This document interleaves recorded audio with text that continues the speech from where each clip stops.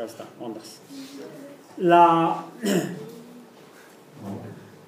las ondas entonces pueden ser incluso más pequeñas que del orden de, de 10 a la menos 3 metros, de milímetros.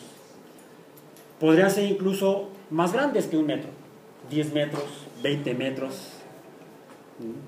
es de orden de centenas de metros tal vez. Estaríamos hablando de ondas de kilómetros, hectómetros. Hay ondas todavía mucho más pequeñas. Ahí en el caso de la luz, las longitudes de onda son extremadamente pequeñas. Vamos a ver en un momento qué tan pequeñas. Ya vimos la interferencia, la reflexión, la refracción, la difracción, las ondas eh, eh, estáticas y el efecto Doppler. El decibel es la unidad con la que se mide el sonido.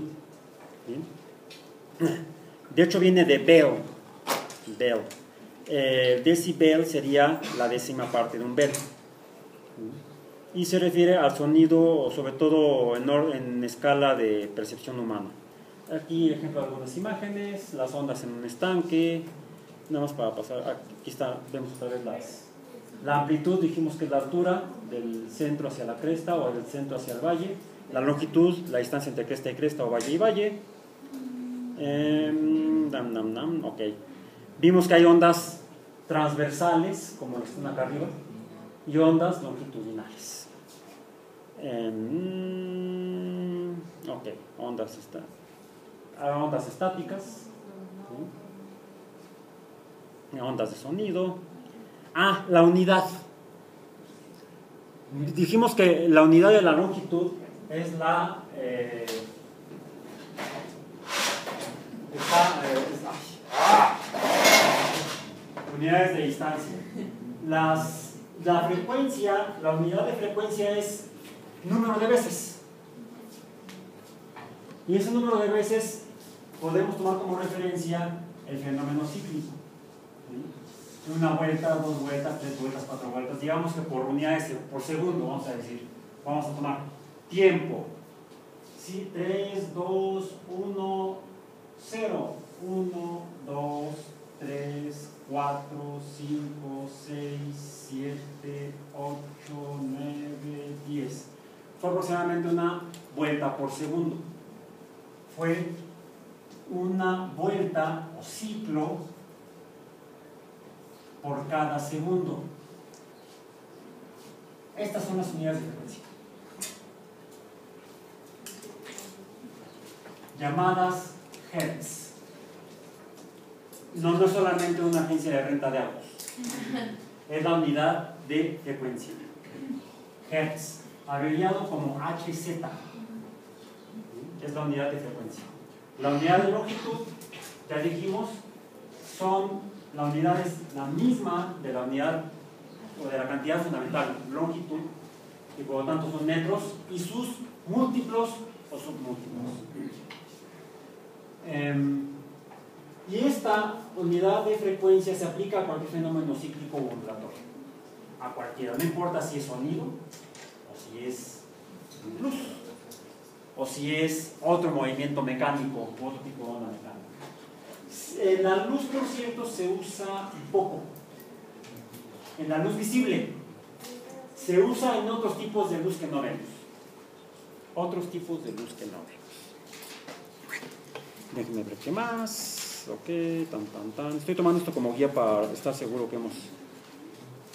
Bueno, aquí menciona el efecto Doppler. Eh, nos pone aquí un eh, ejemplo.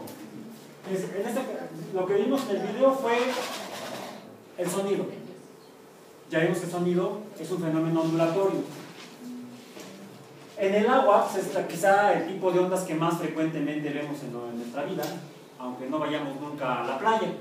Lo vemos en cualquier charco, en cualquier recipiente con agua, en un vaso con agua vemos ondas. Eh, si han estado en la playa o en un lago donde haya botes, no me refiero a botes de cerveza de los que abandonan cuando van día de campo, cuando día de playa, sino estos serían latas, no botes. Botes, boats, eh, embarcaciones, lancha en español. Puede ser lancha o langosta. Eh, pueden salir en lancha a pescar langostas. Esa es otra. Eh, cuando ponemos un cuerpo en agua, un bote en agua, perturba la superficie y produce ondas. Y si no se desplaza el bote, lo que vamos a ver es que se producen ondas concéntricas, como en el caso de las ondas de sonido dibujadas alrededor del tren, cuando no se movía. ¿Qué podemos ver a diferencia del tren? Este lo escuchamos, o la ambulancia o el avión. ¿Qué podemos ver en la superficie del agua cuando el bote empieza a desplazarse? No solamente se dispersan, sino que hacia donde se mueve el bote, las olas, las ondas, también se comprimen. Mientras que en la parte de atrás del bote, respecto a su movimiento, las ondas se alargan. Como podemos ver, el efecto Doppler se presenta en ondas acústicas, se presenta en ondas mecánicas como las de la y también se presentan ondas de luz. La luz también es un fenómeno ondulatorio. Em, solo que, por eso quería yo que eh, pudiéramos ver el video de la, del cohete despegando. Em, hay una experiencia más cotidiana tal vez. Y era la que yo quería mostrarles en un momento. Se los voy a adelantar. Aunque esto sería del tema de electricidad. Hemos visto, hemos visto muchas veces este,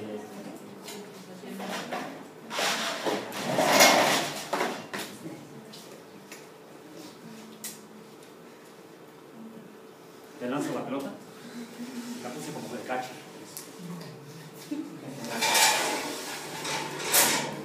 Y voy a adelantarme un poco al próximo tema. Para esto de crónica, por eso siempre ando cargando con pañuelos No se dice la marca. Está limpio.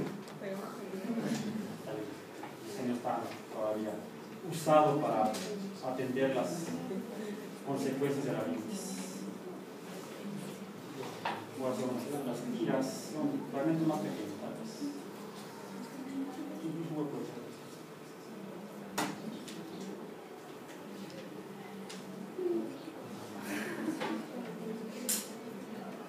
Pongo aquí dos pequeñas tiras de... Espero que funcione. De papel. Y traigo aquí... ¿Qué es este? ¿No?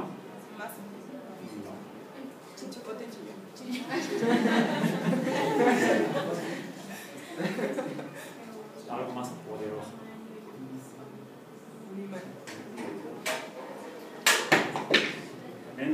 Poderoso.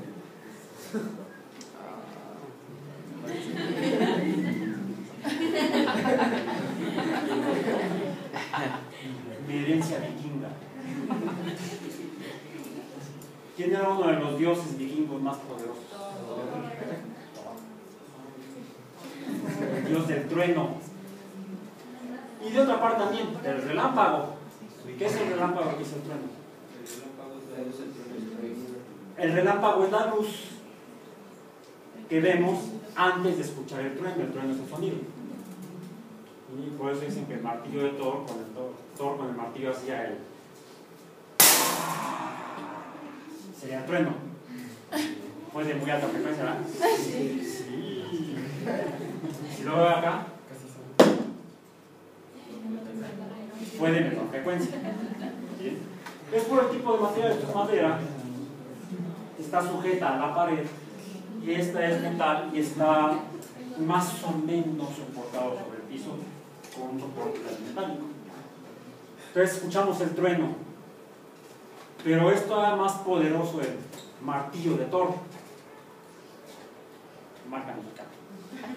Este, para esto tenemos que hacer algún efecto, darle pases mágicos.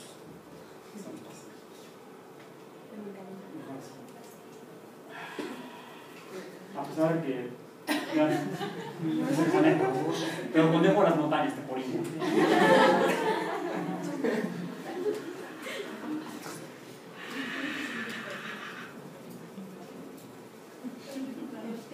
Ah, a ver, si salta.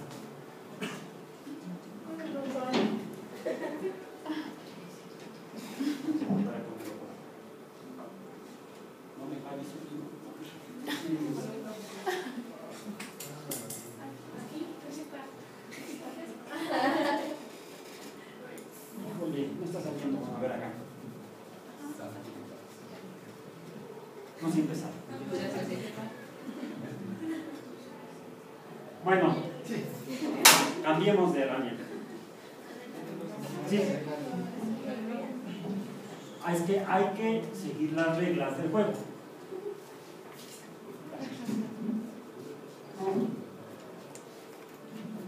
Creo que esta banca. Ah.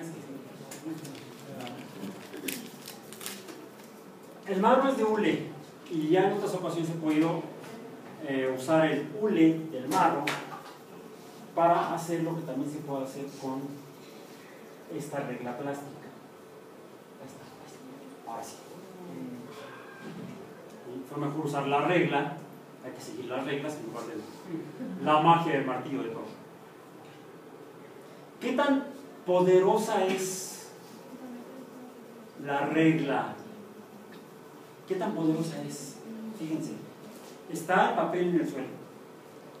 Gravitó, fue atraído por la fuerza gravitatoria. Y es elevado por otra fuerza mayor que la gravitatoria. Oh. Es una fuerza más fuerte que la fuerza de gravedad. Más fuerte que la fuerza de gravedad de la masa terrestre. Sin embargo, como que se le ah, se cansa, se. ¿Se han fijado? Eh, es difícil, es difícil. Tendría que estar más oscuro y tendría que poner más aquí. Y en lugar de traer esta suela, de haber traído mi suéter de lana. Pero prueben hacerlo en la noche en su casa con un suéter de lana de preferencia.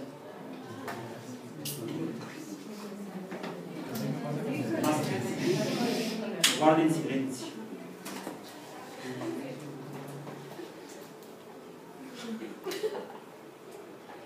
A ver si sale.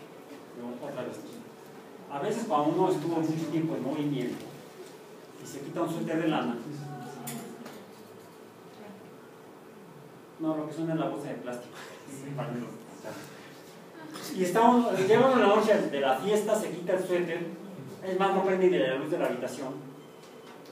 Y al quitarse el suéter o el abrigo de lana. Y se escuchan pequeños relámpagos, pequeños truenos. Son pequeños truenos y pequeños relámpagos. ¿Qué es eso? ¿Cómo le llamamos? Chispitas. Pero, ¿qué- bueno, ¿De qué otra manera se le llama? Electricidad. Estática porque no se mueve aparentemente. De hecho, sí se está moviendo. No se movía, estaba acumulada, estaba, estaba en uno. Y cuando uno se quita el suéter, empieza a haber fenómenos de movimiento y esa electricidad se mueve. Y al moverse, produce luz. Y es tan grande la cantidad de energía de esa luz que calienta el aire, calienta el aire, y este aire al calentarse rápidamente literalmente estalla. Son pequeñas explosiones, son pequeños relámpagos, eh, pequeños relámpagos que producen pequeños truenos. El trueno en el relámpago que vemos en una tormenta eléctrica es precisamente la producción del sonido, de las ondas de sonido, de las ondas de sonido, cuando se produjo la luz por la electricidad, que calentó el aire y lo calienta tan rápido y a temperaturas tan altas, del orden de los miles de grados Celsius, que el aire se expande rápidamente y entonces produce un sonido, porque pro- provoca un movimiento brusco eh, de, los gases, se comprimen, se expanden, se comprimen, se expanden, y es lo que genera el sonido del trueno. No fue Thor, fue el torpe que no se dio cuenta que tenía que correr y alejarse de esa tormenta eléctrica. Por cierto, cuando vemos una tormenta eléctrica que, y está a lo lejos, ¿qué es lo primero que percibimos? ¿Calor? No, lejos, no, no que te cayó encima, entonces calor. La luz. Primero vemos la luz y luego escuchamos el sonido. Es algo similar a lo que se ve en el video que no pudimos ver por, por el angosto de banda que tenemos. ¿Bien? Pues eh, vamos a pasar a rápidamente ver este otro de acá. Ah, rápidamente. Sí, tengo que comentarlo. Tengo que comentarlo, tengo que comentarlo por acá.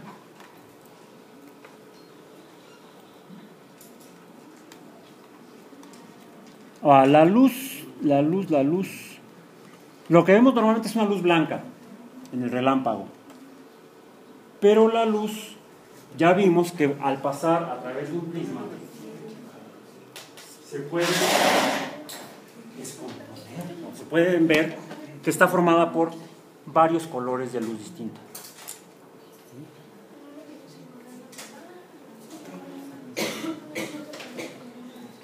Que son la violeta, la... Ah, no les mostré en el libro. Bueno, en el libro viene ahí que hay el rojo, el anaranjado, el amarillo, el verde, el azul, el índigo y el violeta.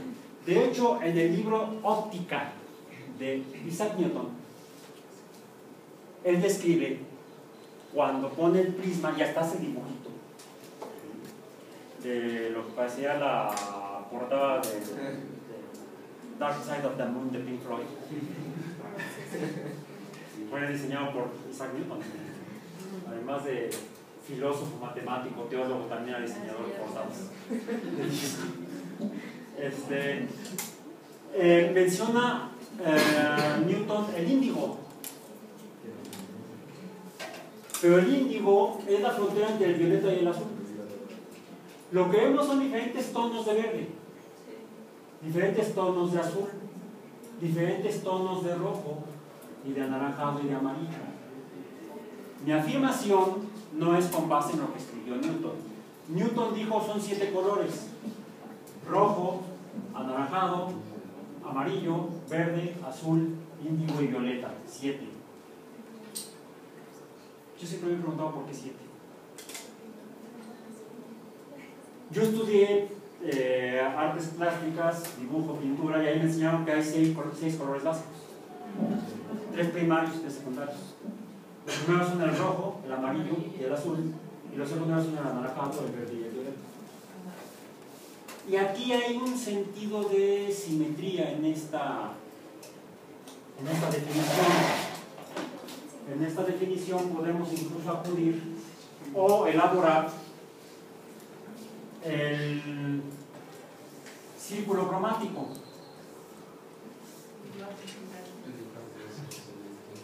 Tenemos el, el rojo, el anaranjado,